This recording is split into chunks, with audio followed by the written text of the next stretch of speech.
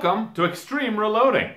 In this episode, we're going to be comparing Varget and RL-15. Now in our past episodes, we've been working up a load for the Ruger Precision Rifle in 308 Winchester. And I started that using Varget. But after looking at some of my groups, I really wasn't uh, too impressed with the groups that I was getting, five shot or even three shot groups. But all that effort is not lost. What we've accomplished so far is we've prepared some extremely consistent brass.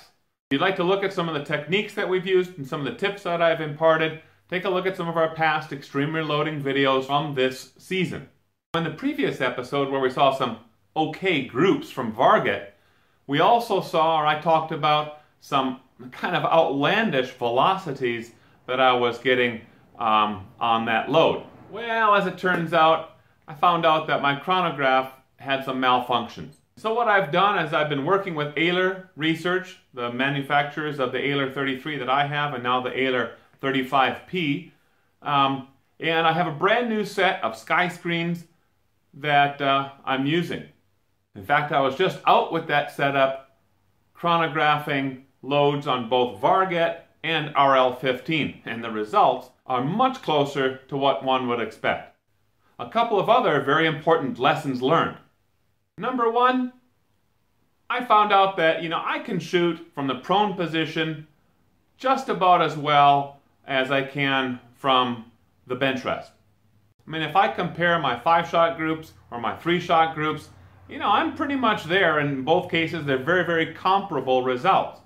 The other important lesson learned is that when we talk about an overall error budget for the accuracy of a given rifle, or rather the precision of a given rifle, I think that a large part of that error budget is the shooter. And what it really all comes down to is that last moment when you're squeezing that trigger. So many things can go wrong at that instant that'll make a shot go awry this way or that way or up or down or whatever.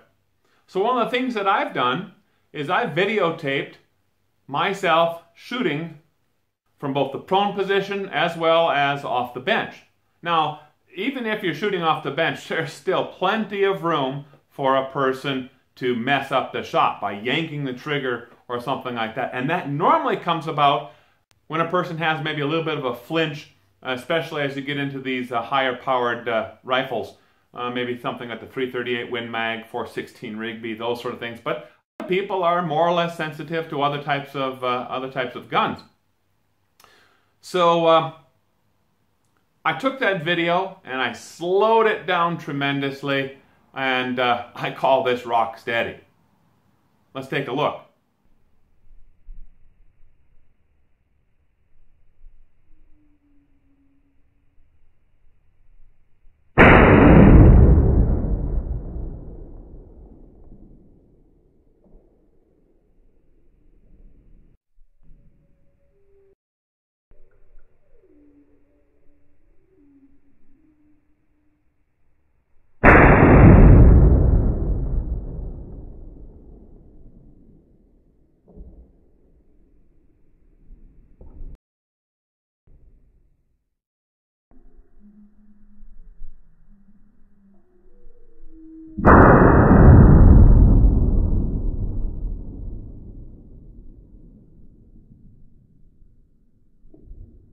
Now, regarding my testing with Varget and RL15, the first thing that I did, of course, is I worked up my load with RL15. And what I ended up with was 44 grains of RL15.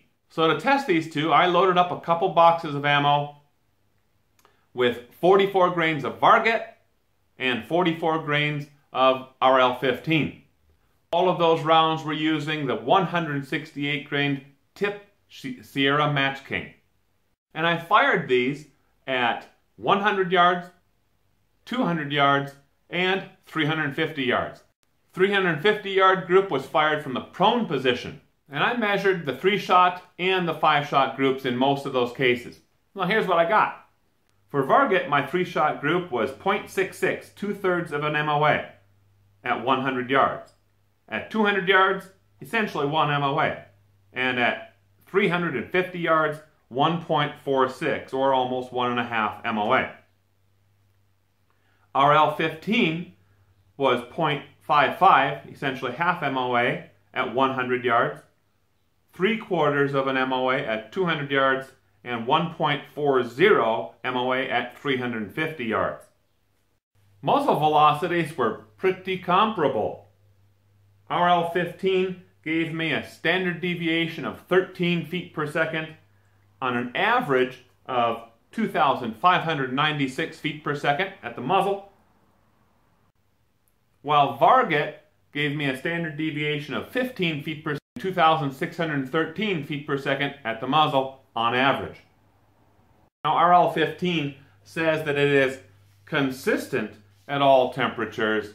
Uh, it doesn't say it's a temperature compensated powder, but you know, I'm not going to worry about that. What I'm going to worry about is driving those groups as small as possible and the effect of ambient temperature on my muzzle velocity is really a pretty easy one to take care of.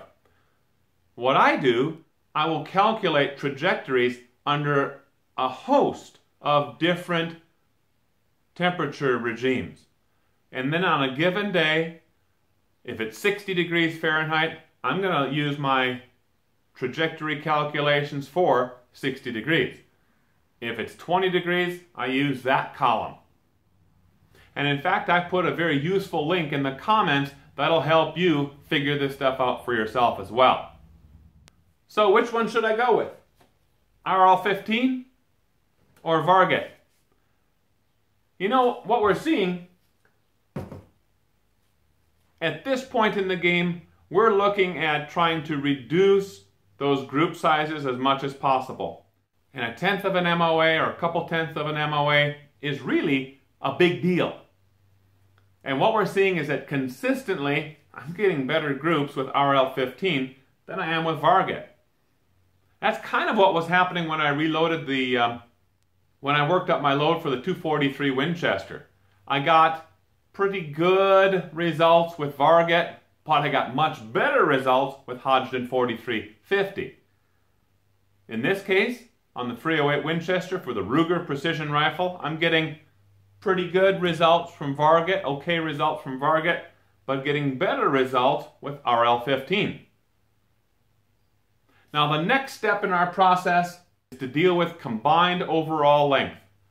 And I'm going to be experimenting with seating the bullets as far out as I possibly can and still go into the magazine, all the way down to precisely 2.800 inch combined overall length.